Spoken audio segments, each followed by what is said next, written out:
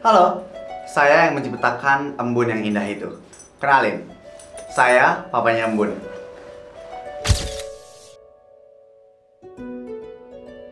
Aku yang mengandung, melahirkan, dan aku juga yang dicolok saat pembuatan embun. Aku, Mama Embun.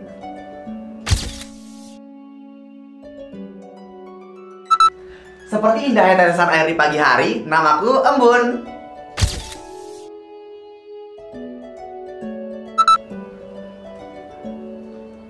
Paling malas sama orang cerewet. BTW nama gue Dev.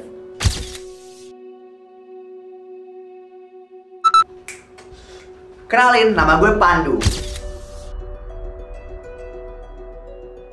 Seperti orang yang nggak bisa ngomong R, namaku Adele. Cadel. Udah sama aja.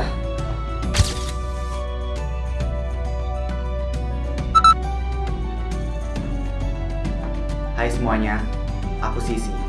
Aku bisa melihat dunia dari sisi yang berbeda.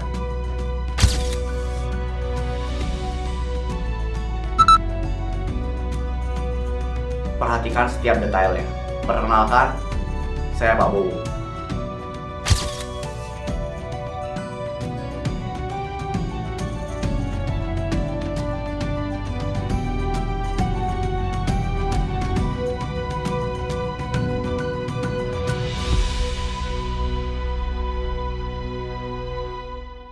Enggak, gue nggak mau ngeliat angka-angka itu lagi. Kenapa sih sama mata gue? Gue mau jadi kayak orang-orang normal, nggak perlu mikirin kapan orang meninggal. Gue bukan dukun dan gue nggak mau skepo itu. Embun? Del, gue takut. Kenapa gue seaneh ini, Del? Lu nggak aneh, Bun. Lu cuma punya kemampuan lebih dari kebanyakan orang. Tapi gue nggak mau. Udah, lo tenang ya. Kita bakal lewatin ini bareng-bareng kok. Gue selalu ada di samping lo. Tapi kenapa harus gue? Pasti ada alasannya, Del. Nanti kita cari tahu ya. Sekarang lo tenang dulu.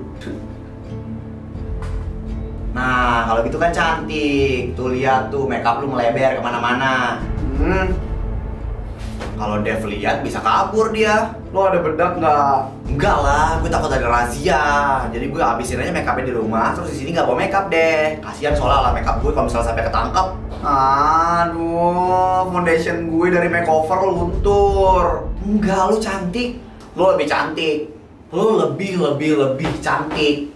Woi, Dol, kalian lama banget sih. Jangan-jangan nangis bareng dalam kamar mandi. Iya, tunggu bentar ah.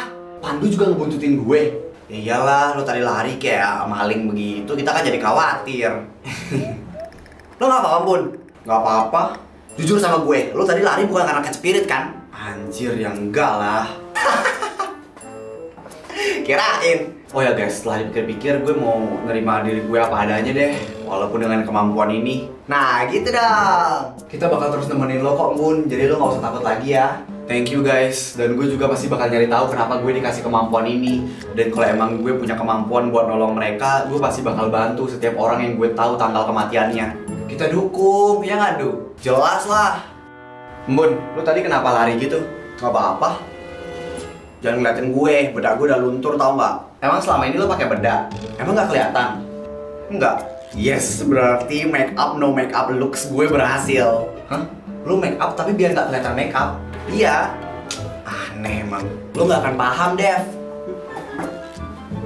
Hai. Kenapa lo? Nggak kenapa-napa. Lo tadi sampai lari gitu habis ngeliat gue, emang gue seserem itu ya? Eh, enggak, sumpah nggak gitu. Terus, gue tadi ada panggilan alam. Oh, duh, gimana ya caranya biar gue bisa nyentuh Ray supaya gue bisa tahu kenapa dia meninggal? Lo ngapain masih di sini? Ah, ah, eh, ini gue gue mau balik sih. Cuma gue boleh duduk di samping lo nggak? Gue yang duduk di sini. Dev, bukan lo duduk sama Pandu. Kita mau ngerjain tugas kelompok. Oh, tapi kan deadline-nya masih minggu depan. Suka-suka kita lah. Oh, oke deh. Perasaan lu ngajakin ngerjain tugasnya besok. Sekarang aja. Ray.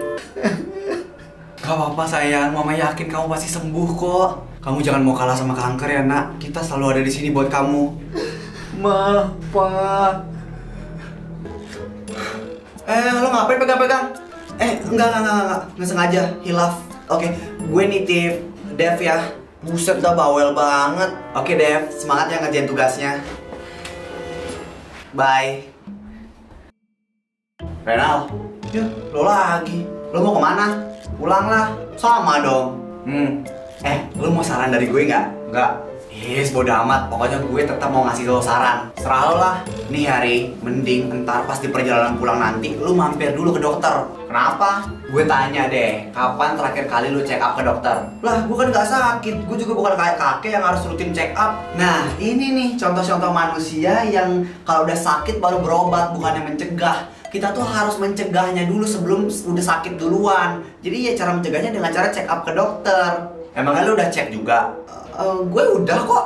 Terus hasilnya sehat gue. Ah, gue saranin lu cek lagi dah otak lu. Siapa tahu udah geser 2 cm dari batang otaknya.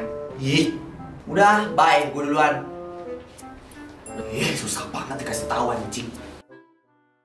Eh Del, gue mau cerita dong Apaan? Tadi gue ngeliat angka di dahinya Renal Lu serius? Iya, gue serius ngeliat angka Jadi dia bakal meninggal juga? Iya, tapi angkanya masih samar-samar gitu Kok bisa? Nah, pas gue cari tahu ternyata dia kena kanker What? Tapi si anak keras kepala itu nggak mau gue suruh cek ke dokter Ya pasti nggak mau lah, lu juga aneh tiba-tiba nyuruh orang ke dokter Terus gimana ya Del enaknya? Gimana kalau kita culik aja dia, terus kita bawa ke dokter? Eh dongo, lu pikir kita bisa ngelawan Ray? Dia lebih besar daripada kita Iya juga sih Tapi yang jadi pertanyaan gue, kenapa angka itu samar-samar? Mungkin malaikat pencabut nyawa waktu dapat kabar dari Tuhan sinyal lagi nggak bagus, lagi gangguan Makanya samar-samar deh tuh kelihatannya Ah, lo TK-nya di mana sih Del? Kenapa? Gue pintar ya? Lebih pintaran kucing gue daripada lo Yus. Gue kira beneran kemarin bakal dikerjain. Eh, ternyata sama aja. Kan kemarin gue bilang besok. Ya deh, pikun nih anak. Kan lo sendiri yang bilang kemarin waktu Bun datang ke sini. Kita bakal kerjainnya kemarin katanya. Eh, iya sih, cuma kemarin gue belum dapat sneak peeknya di kelas sebelah. Alah, BTW, lu dekat ya sama Bun? Gue? Enggak sih. Oh, cuma gue rasa dia lagi deketin gue deh. Deketin lo? Iya, soalnya kemarin waktu pulang sekolah dia tiba-tiba nyamperin gue Terus maksa gue buat check up gitu Maksa buat cek kesehatan lah pokoknya Ngapain dia gitu? Mungkin dia perhatian sama gue Eh, tapi lu jangan marah ya sama gue Gue sama sekali gak ada deketin dia Ngapain gue marah? Ya kan selama ini orang-orang taunya Ambon sukanya sama lo. Emang iya? Gue gak sadar tuh. Tapi itu sih kayaknya cuma gosip sih, Dev. Aduh. Kenapa lo? Akhir-akhir kepala gue sering sakit. Minum obat. Sakit pada pelihara. Udah ya anjir. Ah aduh. Ah. eh beneran? Pagi deh pagi Renal. Aduh. Eh lu nggak apa-apa ah kepala gue sakit tuh KS yuk gue temenin nggak apa-apa nggak apa-apa nanti juga hilang kok gue bawa obatnya lagian ya udah di mana obat lu sini biar gue ambilin aduh Eh, Re, Re, Re, eh, Renal, Renal. Bu, apa nggak sebaiknya kita bawa Ray ke rumah sakit aja? Kayaknya nggak perlu deh, Bun. Kita tunggu dulu dia sadar. Tapi Bu, kita kan nggak tahu penyebab aslinya kenapa Renal tiba-tiba pingsan. Ya jadi mending kita bawa ke rumah sakit aja. Banyak siswa yang pingsan. Masa setiap ada siswa pingsan dibawa ke rumah sakit, Bun? Tapi ini feeling saya beda, Bu. Bukan pingsan yang biasanya. Jadi menurut saya sih bawa ke rumah sakit aja, Bu. Yuk, bawa ke rumah sakit. Kenapa kamu ngotot banget ke rumah sakit sih? Soalnya Renal bilang kalau sakit ini udah lama. Bun, kamu nggak tahu ya, kalau kita bawa Renal ke rumah sakit, urusannya itu makin panjang. Jadi ibu lebih milih biarin gitu Renal sakit. Ya udah ya udah, panggil ambulans sekarang. Oke bu.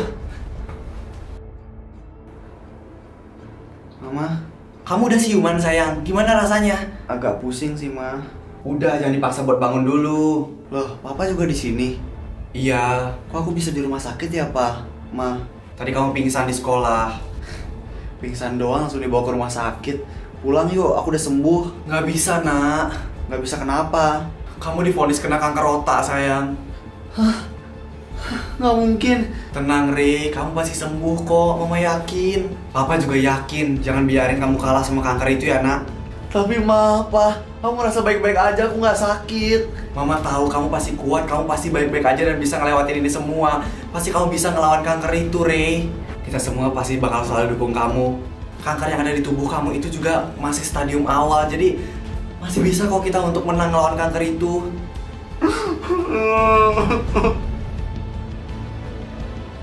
Lo kenapa sih, Bun?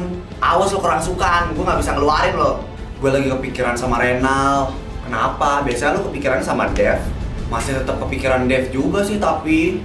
Ada, kenapa coba lo mikirin Renal? gue kepikiran pasti sekarang keluarga Renal udah tahu kalau misalnya Renal selama ini ngidap kanker iya pasti mereka lagi sedih banget tapi bagus jadi mereka taunya lebih awal. Pasti berat banget ya buat dia. Selama ini dia ngira tubuhnya sehat-sehat aja. Tapi ternyata ada kanker dalam tubuhnya. Yes gue jadi ikutan kepikiran kan kepikiran Renal. Kepikiran sama kesehatan gue. Ntar gue mau cek juga lah. Eh si bapak. Kalian mau jengukin Renal nggak? Tapi pun yang tahu Renal kena kanker kan cuma keluarganya. Kan kalau misalnya tiba-tiba lo tahu kan aneh. Iya sih. Kita tunggu aja nanti Renal juga pasti bakal masuk lagi kok dan kita harus tetap pura-pura nggak tahu ya iya tenang aja Kenapa harus gue? Gue gak mau meninggal secepat ini. Emang sih kanker gue masih stadium awal, tapi lama kelamaan pasti bakal parah juga. Akhirnya bakal sama aja. Gue pasti bakal meninggal, tapi gue belum siap. Banyak cita-cita gue yang masih belum kesampaian. Masa harus berhenti gini aja karena penyakit ini?